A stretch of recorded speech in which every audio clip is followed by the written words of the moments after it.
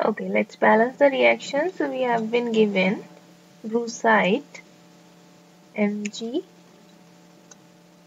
OH